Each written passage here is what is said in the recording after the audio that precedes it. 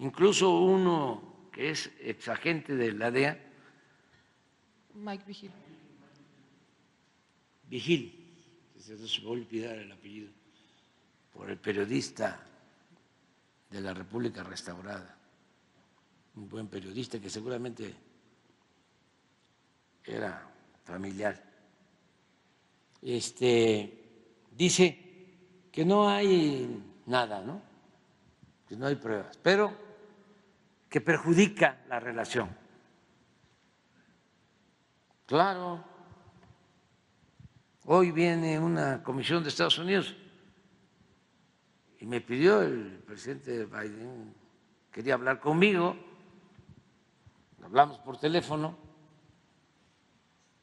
Y una de las cosas que se trató es que yo reciba a la representante Elizabeth, que es una mujer extraordinaria, encargada de seguridad nacional, gente muy cercana a él, muy sensata, porque no los iba yo a recibir. Ya hice el compromiso que sí. ¿Por qué? Porque cómo este, voy a estar yo ahí sentado si soy un sospechoso. ¿Le van a ofrecer la disculpa, presidente? No, no, no, no, no. No, no. No hablé de ese tema con el presidente Biden. Hablamos del tema migratorio. Y ya que estamos en eso, también les voy a puntualizar cuál es nuestra postura en el tema migratorio.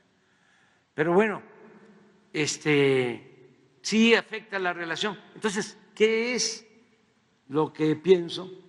Que este periodista, muy vinculado con algunos agentes o exagentes de la DEA, metidos en esos sótanos del poder,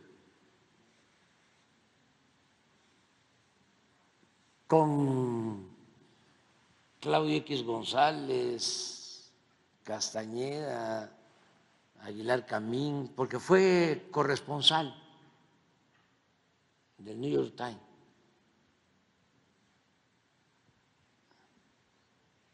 Pues